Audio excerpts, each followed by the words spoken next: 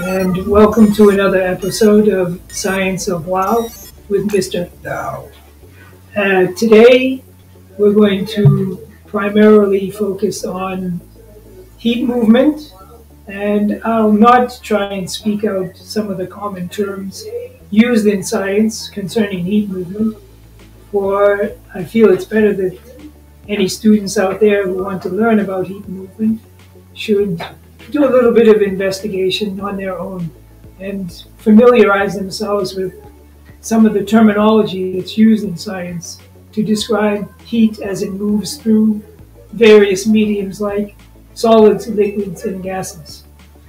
The first one, you're going to need uh, a candle, two balloons, one of the balloons filled with water, the other one filled with air.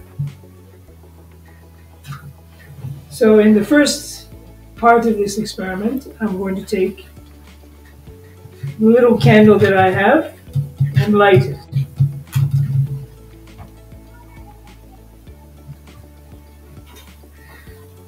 Once the candle is going, we can take the balloon that's filled with air and bring it over the candle.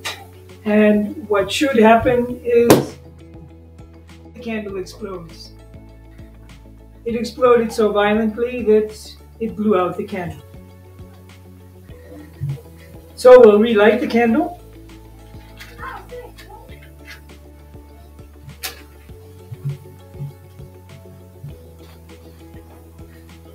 And I'll take the second balloon that has approximately 100 milliliters of water inside it and bring it down over the candle. And we can see that actually nothing has happened.